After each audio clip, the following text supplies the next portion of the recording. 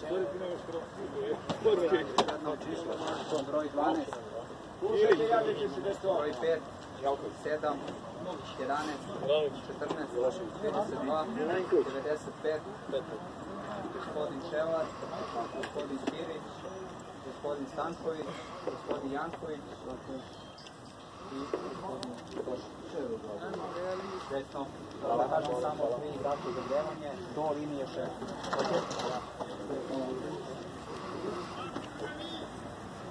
Ajmo Beli, ajmo Beli!